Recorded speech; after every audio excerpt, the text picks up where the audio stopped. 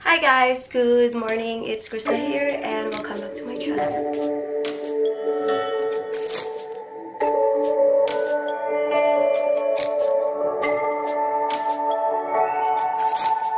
Hi guys, it's Krishna here and today's uh, September 19. It's Thursday. Um, Calgary time, it's 10.20 a.m. Yep. And kung napapansin niyo po, I'm medyo malat po ako. Yep, uh, it's a sign that winter is coming. Change of weather na naman po. I think tapos na si summer. Goodbye summer. So, fall's coming in. And, yep, and nauna na po yung condition ko. Yeah. Kagaling ko lang sa labas, guys. I went to the bank and I did some grocery shopping. Um, nabili lang ako ng konting mga pangsahog kasi I plan to cook uh, sotanghon. Wish me luck, guys. I'm not really a good cook, but uh, since I won't be home uh, later, mga dinner time, eh sige, pag uuwi, walang makain, kawawa naman galing sa work, tas gutom. So, yeah, magluluto lang ako ng kahit konti. Um, kailangan ko din maglipitin tong kalat sa bahay. Tingnan nyo naman, guys. Super, kalat pa. Um, Diyan kasi kami, dito kami natulog sa sala. Andyan kasi yung malaking TV. So, minsan, ito yung sofa bed. Eh, nakakatulog na kami dito, guys. So, kailangan ko lang magligpitin ko lang po muna to kalat.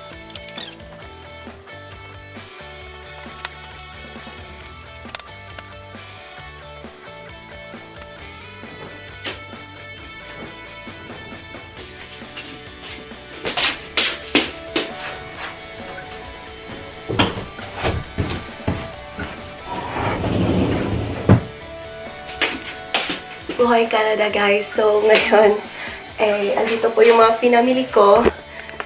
Yan. Diyan. And, yep.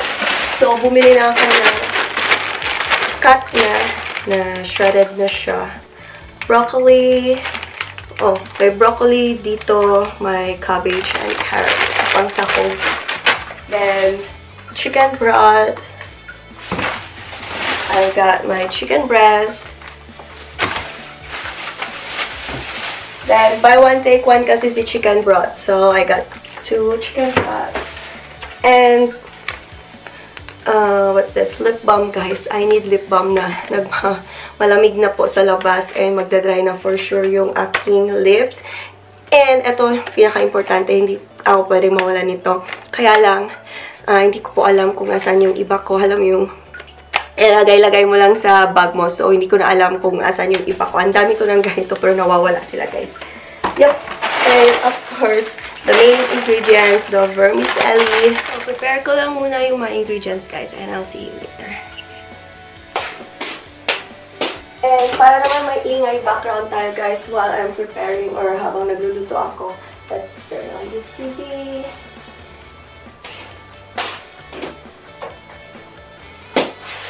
Tapos, ang gulo talaga ng bahay.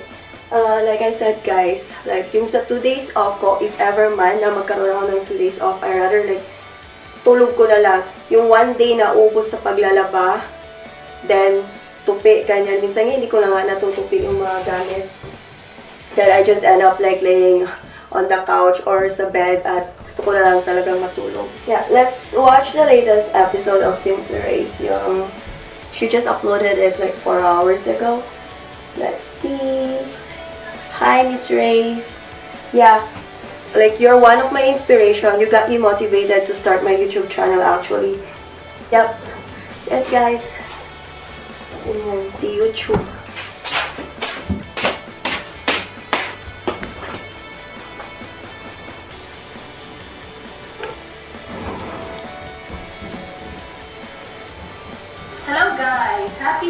Sunday! Today, Sunday. I'm getting ready. Pupunta kami ni Dan sa shops and then magluluto na kami mamaya. Nag-request siya ng ano, um, ang tawag doon? Lumpia. Gusto niya yung lumpia ang tonggi yung maliliit. So, gagawin natin yung mamaya with him. Kasi sabi ko, sige, tulungan mo ako. Kasi usually hindi ako niluluto. Guys, painit tayo ng tubig. para sa ating Valentus. Yes, I'm using or I'm drinking Valentus, guys. Yeah, and super effective siya. I don't know if you tried Valentus, but most of the people here, yung mga katrabaho ko sa work, uh, they tried Valentus and it's really effective for them. Some of them, um, sinasamahan nila ng diet, but for me, hindi po po pwedeng mag-diet-diet. Mamamatay po ako. I've been doing like 16 hour shift. Tingin niyo po, mabubuhay ako pag magda-diet pa ako. Yes, and ito yung half kahapon. Hindi ko siya na, hindi ko siya tinimpla lahat. I think, kasi 14 lang siya sa isang box. So, balulugi ka samantala pag yung coffee na nasa container. Sobra-sobra ang one month siya. So, mas tipid. I rather have the coffee than this hot chocolate, ba diba? Kaya, siguro yung paggamit nito, ano, kalahati nito. Kasi sabi naman dito, for maximum na uh, use up to 2 times daily. So, ibig sabihin, pwede siyang gamitin ng twice. So, yep. Ang gulo-gulo po ng aking kusina. Pasensya na, maliit lang po ang aming space. Nakatira lang po kami sa basement. And, yep, And I've got my Putier placenta. I'm taking this like twice a day. I started this one like, um, nung isang araw lang, nung pagkatanggap ko nung, ano, after nung matanggap ko to. Yes, guys, see. Gulugulong buhay, gulugulong buhok. Ganito po yung itsura ng Putier placenta. So, I'm taking this like, um, twice in the day. One in the morning and one in the PM.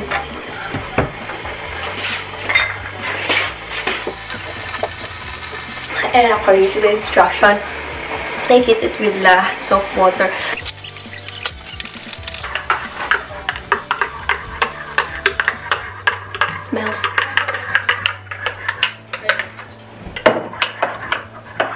Patakalan ko open guys. So I cut this part, then I just realized, hala, wala pala siya, hindi pala siya yung isa-isang balot. So if I open this one, open na lahat. Patay tayo dyan. May ano pala siya dito, tape na. Dito mo siya bubuksan. Tanga talaga. Yan! Punit na siya. Yan. Sige na lang. Okay. Kuha tayo ng dalawa. Mga apat na piraso for the pancit. I think that's too much na. Or tatlo. Babad ko lang po muna, guys. Experiment lang po tong lutong to. Uh, my own version of sotanghon. Chicken sotanghon noodles. Whatever. And, yeah. E, tingnan po natin kung anong kinalabasan nito. So, guys, uh, yep, mainit na po ang ating mantika. So, lagi ko po talaga inuuna yung onion. I don't know why. May nabasa ako na dapat daw onion yung una, hindi bago yung garlic. So, onion.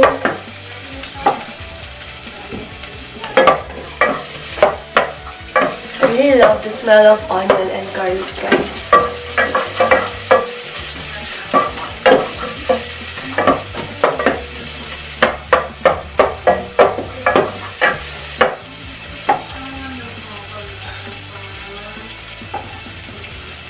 And next are bawang.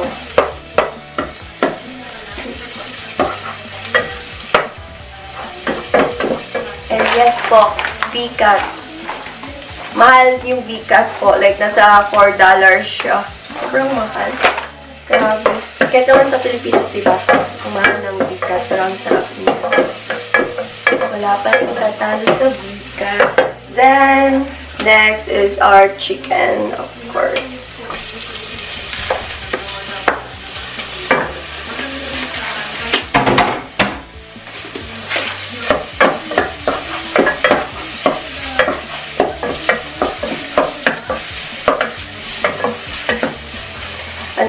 Natin na medyo mag-brown-brown yung chicken, guys. Then, hindi ko na po alam kung anong isusunod ko.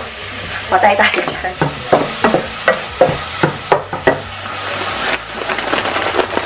Lagay na hot natin itong gulay. Gulay.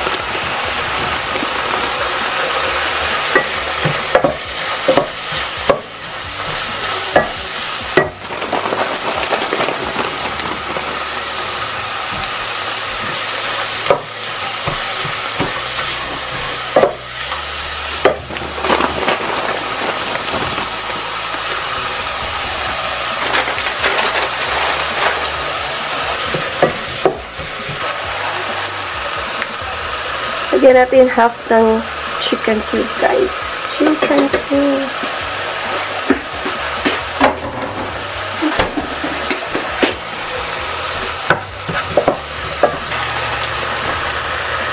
And our chicken broth.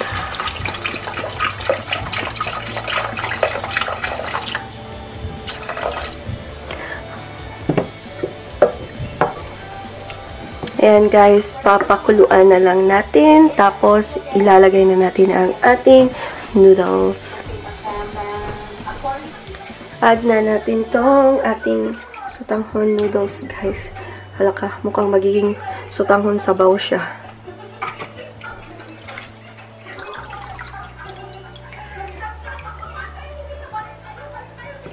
Uh, Yan. At atin na lang siyang papatuyuin.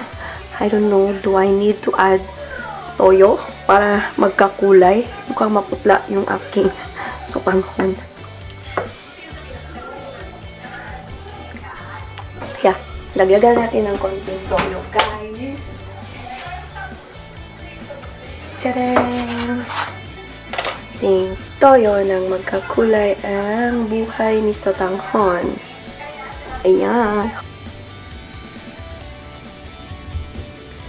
Lapit na siyang maluto guys, pero ba't ganun?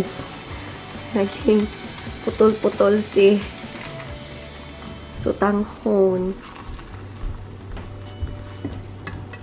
Masarap siya. Dagdagan lang natin ng konting lasa. Si pepper.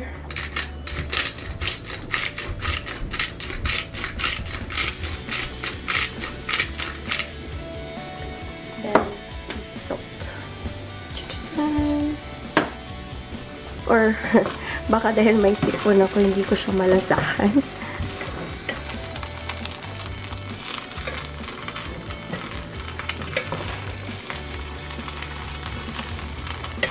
Hala, durog-durog na siya. Tikman niya natin.